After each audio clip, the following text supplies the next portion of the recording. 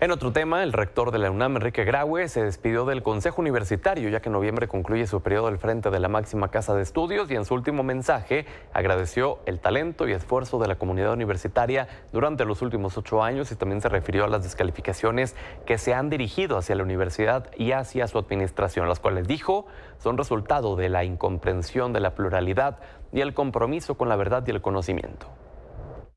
En los tiempos que están por venir,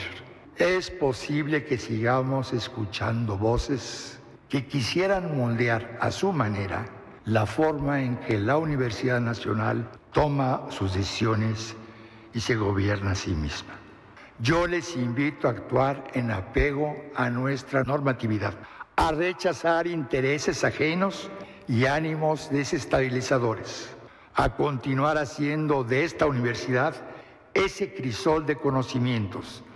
de pluralidad ideológica y una vez más de libertad.